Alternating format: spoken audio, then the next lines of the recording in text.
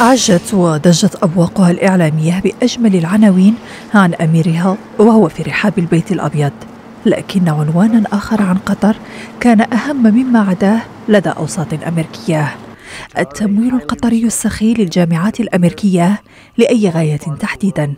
فمليارات الدولارات التي تضخها الدوحة في هذا المجال باتت صداعا في الرأس. اقتضى من وزارة التعليم الأمريكية فتح تحقيق في الموضوع. وبالمناسبة كان التحقيق يجري في هدوء بالتزامن مع زيارة الضيف القطري. جامعتان أمريكيتان غارقتان في التمويل القطري المشبوه تحت المجهر جورج تاون وتكساس اي اند ام طلبت وزارة التعليم الأمريكية من الجامعتين الإفصاح عن سنوات من السجلات المالية بعد تعاظم المخاوف من عدم إبلاغ الحكومة الفيدرالية بشكل كامل عن الهبات الأجنبية.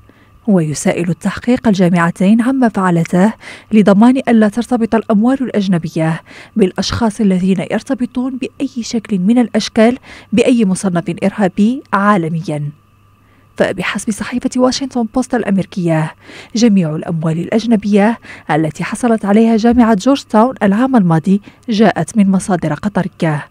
فيما أظهرت البيانات التي قدمتها جامعة تكساس A&M أنها تلقت ستة ملايين ومئة ألف دولار في العام الماضي من خلال شراكة مع مؤسسة قطر. والاشتباه في مآرب الأموال القطرية ليس جديدا لدى الأمريكيين. فبالأموال القطرية. ومن بوابة رعاية العلم توفر جامعات أمريكية منصات لخطابات جماعات بعينها.